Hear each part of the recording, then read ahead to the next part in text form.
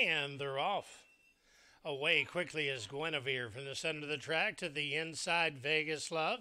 Outside, we're going to have Umbashi in the field, shuffles out and takes order into the first turn.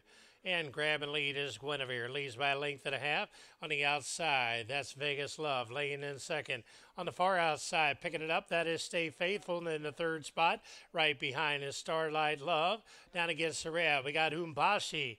Umbashi was fifth, now fourth on the inside. Opening quarter 24 about a half lane back. We got Men Driven. The Men Driven's going to have to pick it up from there.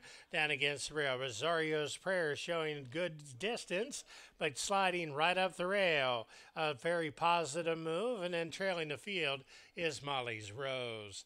With the lead is Guinevere. Walter Rodriguez leads now by three parts of a length. Stay Faithful lays in second to the outside. Vegas Love the Gray. Right behind is Umbashi. To the far outside, we got Starlight Love. Smack dab in the middle. That is Rosario's Prayer running up and needs a place to go. From the back of the pack, Men Driven starting to pick it up as they round the far turn. And Guinevere shows away.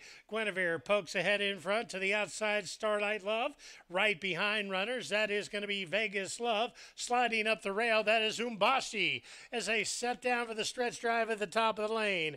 Guinevere has the lead, laying in second. That's going to be Starlight Love on the far outside, picking it up. That is Rosario's Prayer. Rosario's Prayer is rolling right along with Mid Driven, but it's Guinevere in the eighth and final. Running second is Rosario's Prayer.